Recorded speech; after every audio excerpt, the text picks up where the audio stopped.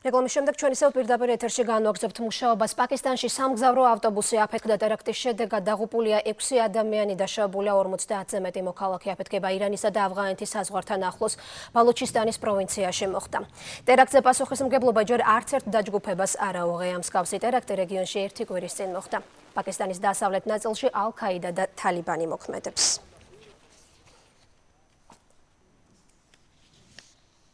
ბარაკ ობამას დატყვევებისთვის 10 ჰილარი კლინტონის სანაცვლოდ კი ორი აქლემის საჩუქრად სპეციალური ჯილდო ალ-ქაიდას სომალურმა ფრთამ ალ-შაბაბმა დააწესა.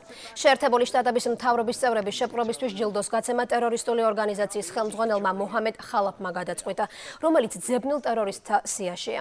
ხალაფის დაკავებისთვის შეერთებული შტატები 5 მილიონ დოლარს იხდის.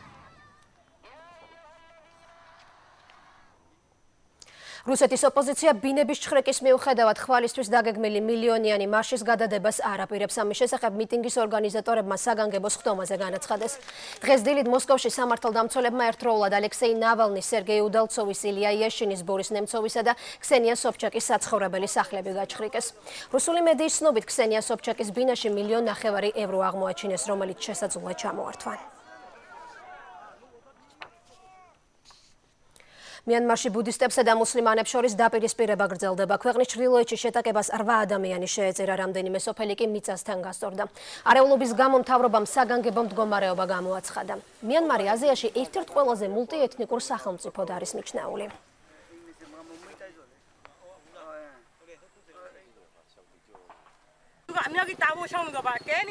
როჰინგები მოკლით დაგვემუქრნენ, რამდენიმე ადამიანი გაიტაცეს. იძულებული გავხდი სოფლიდან გამოგქცეულიყავი.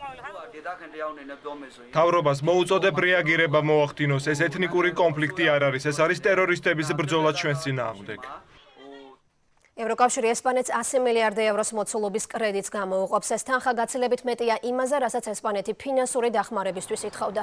კრედიტი ძირითადად ესპანეთის საბანკო სისტემის რეკაპიტალიზაციას მოხმარდება. ევროზონის ფინანსთა მინისტრების გადაწყვეტილება დადებითად აისახა მსოფლიო ბირჟებზე. ამერიკულ დოლართან მიმართებაში ევრო გამყარდა. ტრანშის სანაცვლოდ ესპანეთს ეკონომიკური რეფორმის გატარება და გარკვეული მოთხოვნების დაკმაყოფილება მოუწევს.